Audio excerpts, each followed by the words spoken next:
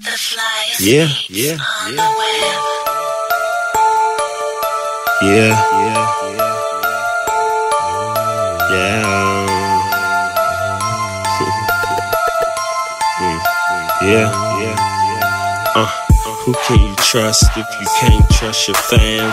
If, if he's a real nigga, then you understand. Everybody ain't your friend, everybody ain't your man. That nigga that you grew up with be quick to take the stand on you cause he facing nine. But, but he can't take the time, but supposed to be your bro. But on the low, just want your shine. Uh, that shit make me sick, cause I see right through their eyes. If they act like they your man, but really wearing a disguise. Take your mask off, this ain't Halloween you your pride. How you claim that you my man, but, but stealing from my mom?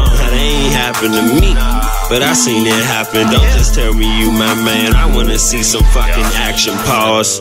I'm, I'm, I'm talking about having my back, of course. And I seen a couple condoms in this fucked up world that we living in. You're bound to need protection. I, I just hope the Lord send me in the right direction. Oh niggas around you who will take from. Your around you will try to fuck your wife. But I guess it's all just a part of life. So I wake up every morning with a smile on my face. Cause I know they hating on me, but I know they paying attention to me. I know they looking. Yeah, I know they paying attention to me. I know. They watching.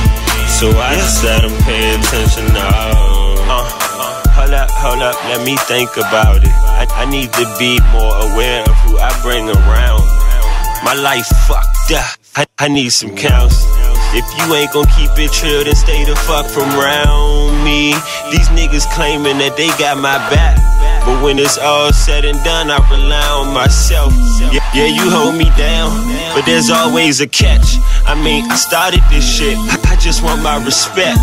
and if you feeling some type of way about it, well, this is a fucking public service announcement.